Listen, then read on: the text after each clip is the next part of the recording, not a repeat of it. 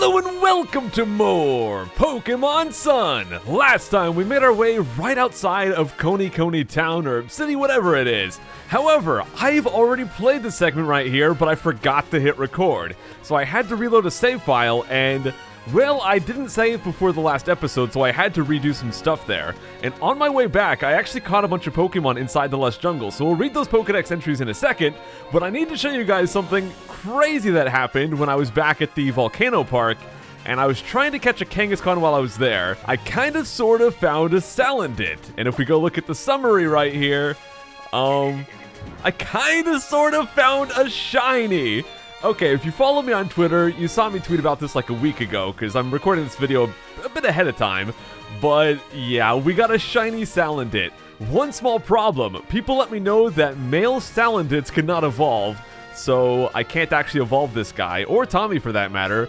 So I guess neither of those guys are going to be on the team. But hey, we got a shiny. Kind of bummed out that I didn't get to have my reactions to that on video, but stuff happens, I guess. All right, well, let's just go into the city right here. There's not a whole lot to do here, but there are some clothes that I wanted to buy. There's a clothing shop here, so I'm gonna go do that, and I'll, I'll customize my character just like I did during my first attempt at this recording. I can confirm I actually hit the record button. And I don't know if I ever actually mentioned this in a video, but I finally turned off my whole sleep mode thing, so that's no longer a problem. That issue, finally fixed. But uh, yeah, Delibird here, just kind of going around, handing things out to people, I guess.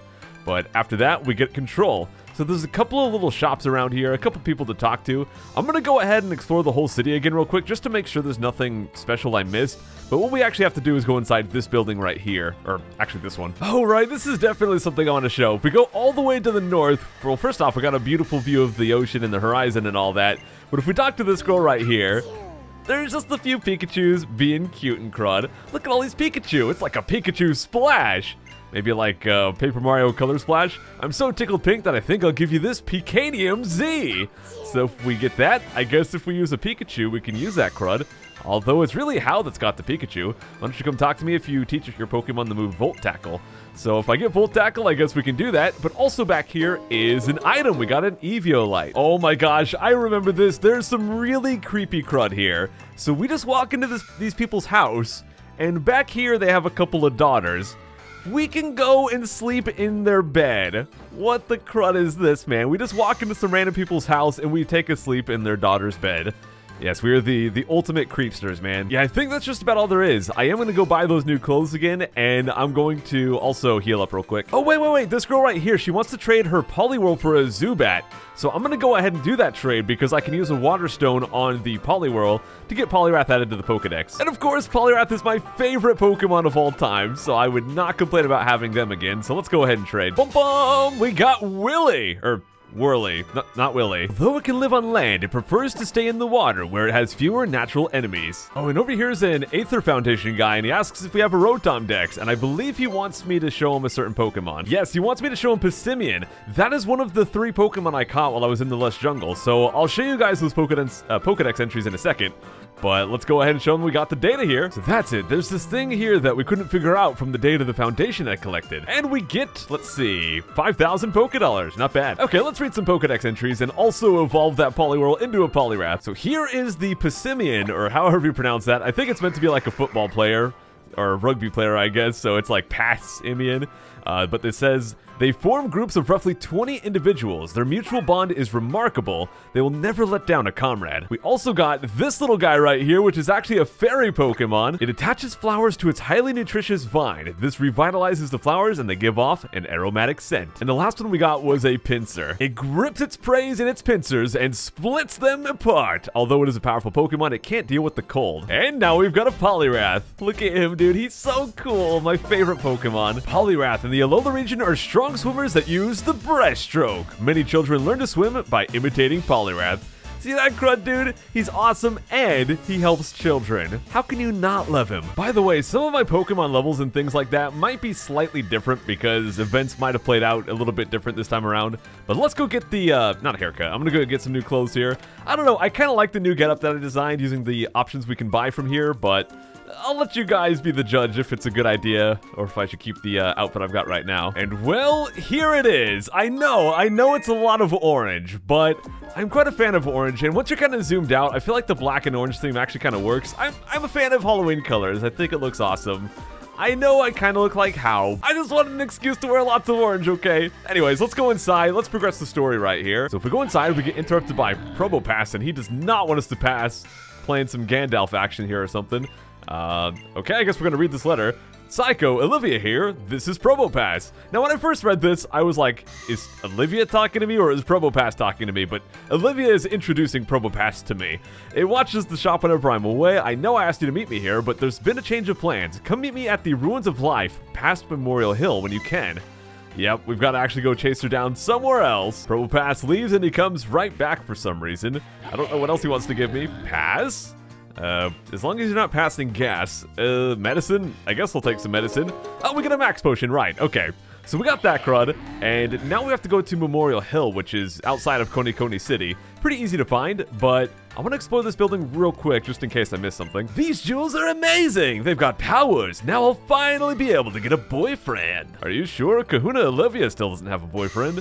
Yep, Olivia is single. Confirmed. Well, here you can buy a bunch of stones. So if you want to get like a Flareon, a Jolteon, a Vaporeon, or a Leafeon, you can get that all right here. Unfortunately, no Ice Stone. We can't get a Glaceon, but I'm sure we'll find a way to get that later on. Oh, and more importantly, right over here, you can buy a fossil. You can only buy one, though.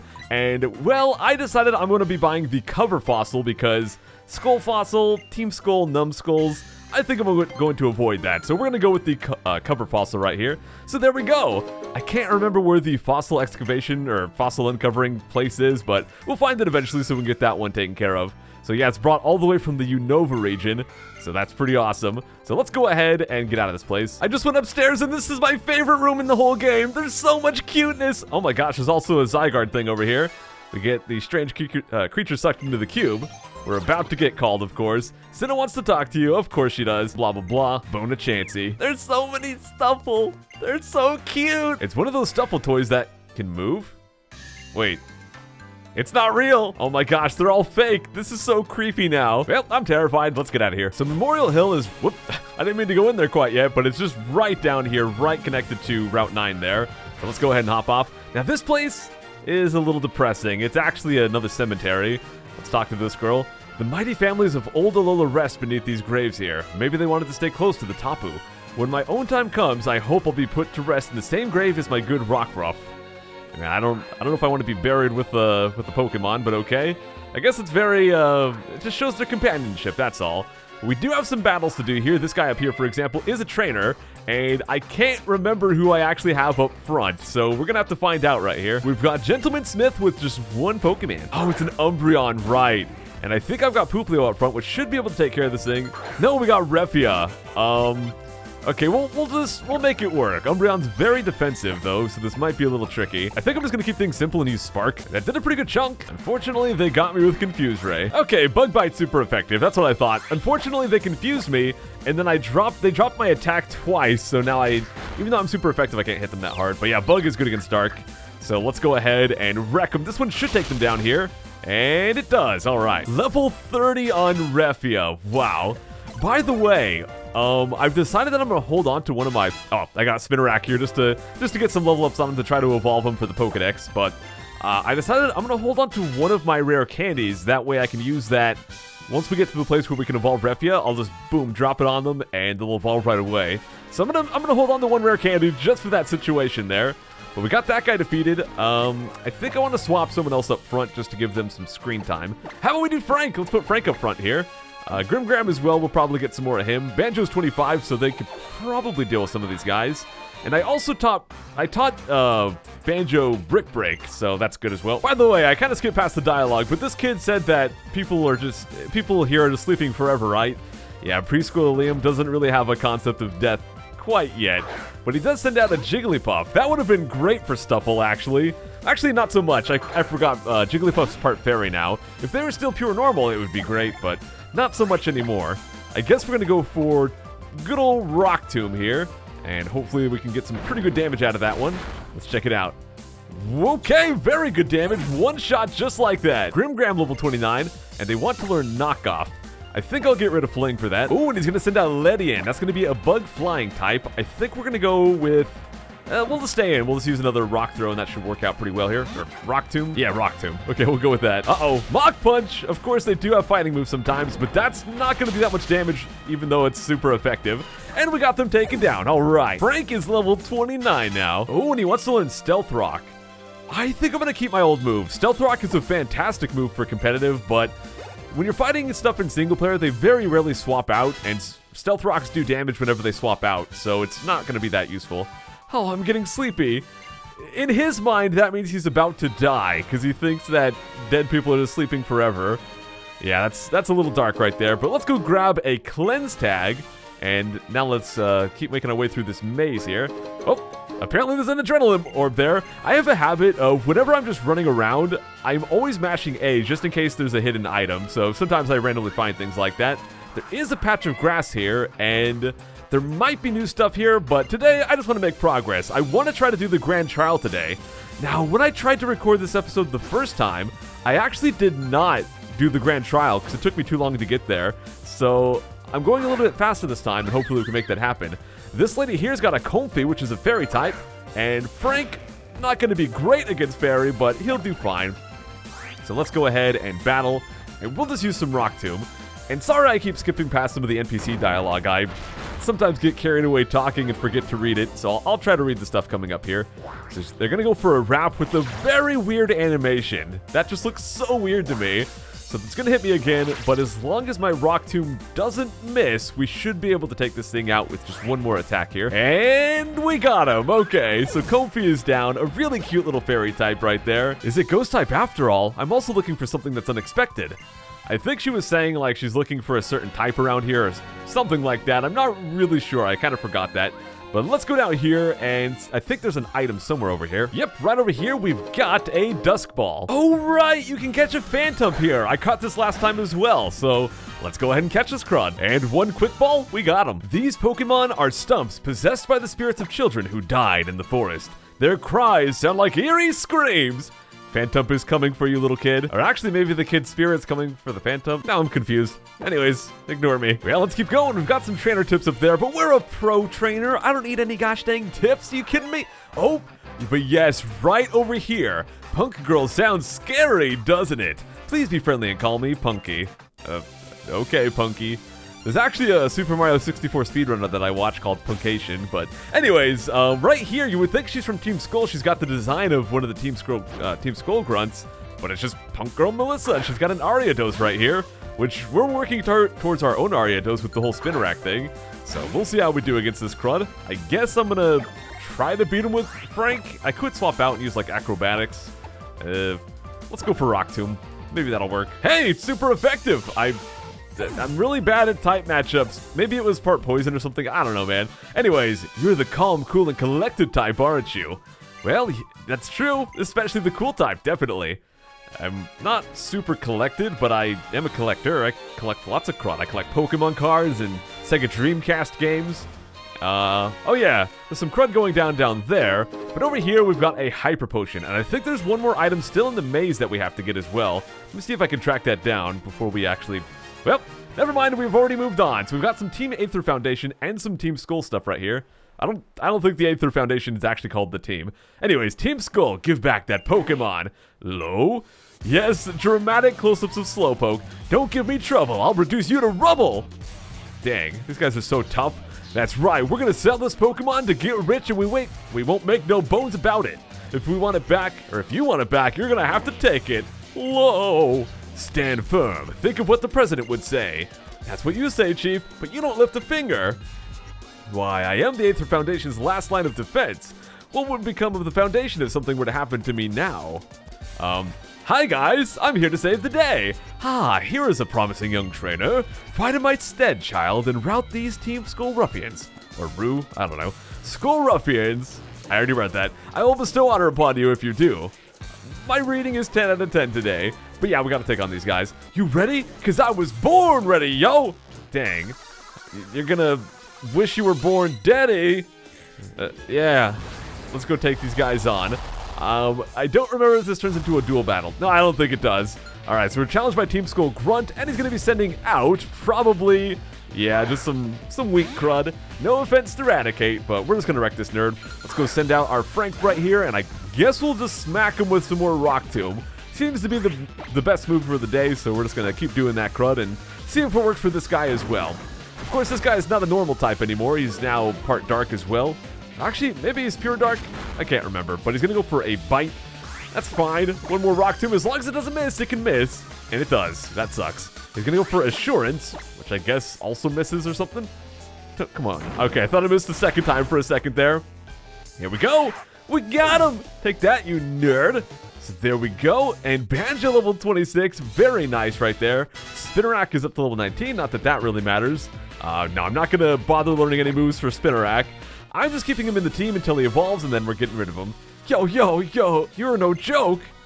Uh, I guess I'm a bit of a jokester, but... Uh, oh, yeah. My jokes, they're not on point today, guys. That loss was... That loss was pathetic. Your moves were so kinetic.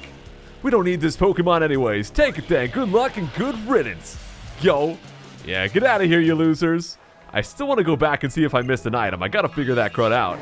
Low! Thanks, kid. No problem, dude. Yes, indeed, you are a trial goer, aren't you? You're a splendid trainer. I am deeply impressed. I'd like to reward you by showing you something truly arousing, or astounding.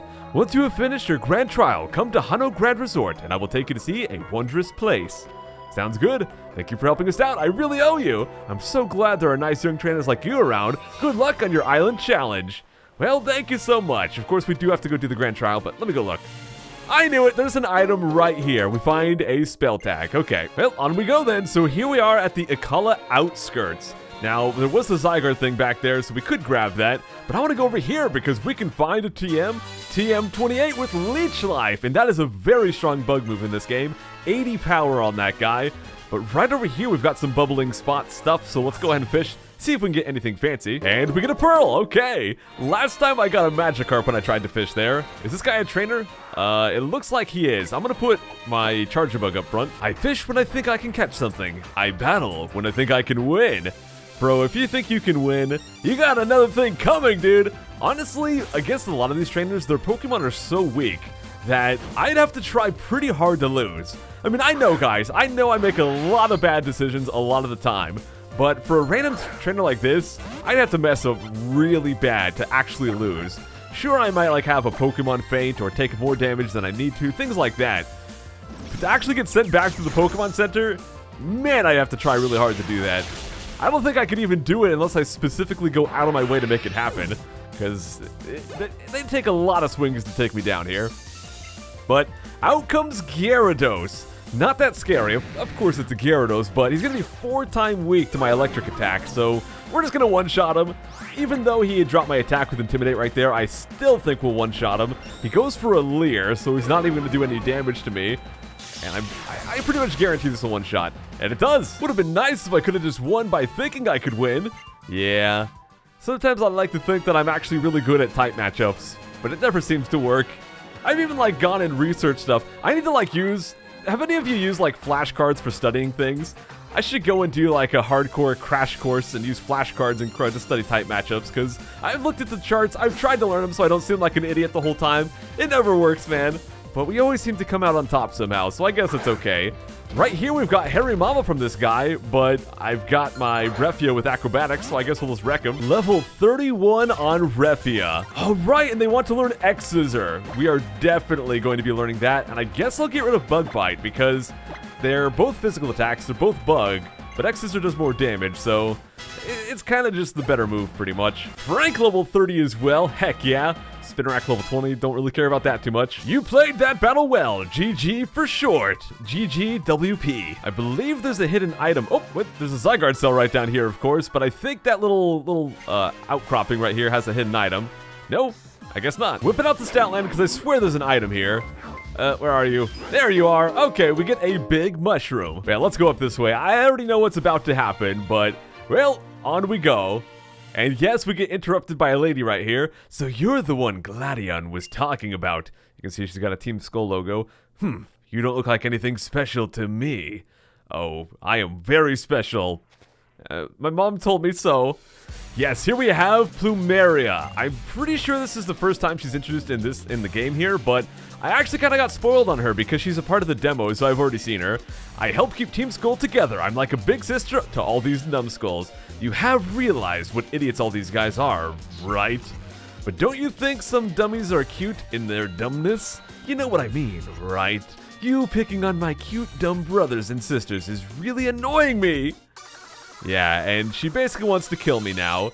But I, I am glad she agrees that the other Team Skull grunts are kind of numbskulls, dude. But here we go. We've got a battle against Team Skull admin Plumeria, and even though she's only, uh, even though she's an admin, she still only has two Pokemon. Out comes Golbat. One small problem, my uh, Refia right here kind of took some damage from that random encounter. I ran into a Wingull, couldn't escape, and then it got a critical hit on me, so I'm kind of low. But I'm going to try to take this guy down with the Spark. Unfortunately, he does go first, and that might wreck me. And we survive with 3 HP. I'm probably going to have to use a Hyper Potion to survive, but we at least take down this Golbat. I think I'll just swap out for safety. Let's see what she has uh, coming out here. Okay, it's landed. So we're just going to swap out, go right over to Pooplio, or I guess Frank could work as well, but we'll use Pooplio here. And we'll just use like Water Pledge, probably one-shot that as well. What a loser, man. Your Salandit's not even a shiny. They are going to use Poison Gas, but I'm just going to use Water Pledge, and I'm pretty sure they're going to get one shot right here. And also, I could be wrong about this, but I think poison no longer hurts you outside of battle. I think it only hurts you inside battle. If it does, that's pretty convenient, I guess. We get level 32 on Pooplio. Very nice. And we've taken down Team Skull admin Plumeria. Heck yeah! Fooey! Banjo-Kazooie Fooey Tooie, man. Okay, well that one is over. Get the quit out my grill, bro. I gotta go and do a grand trial. Hmm, you're pretty strong, I'll give you that. But mess with anyone in Team Skull again, and I'll kill you. Or, I'll show you how serious I can get. Alright then. She's not the most intimidating. Sure, she's got like the skulls on her head, but I'm not scared of her. But you know what, guys? I ended here last time I recorded this, and I think I'm going to go ahead and end here again. Not the longest episode in the world, but it still feels like some pretty good progress. We did Konikoni City, we did gosh dang uh, Memorial Hill here. So I'll see you guys next time for the grand trial. Take care.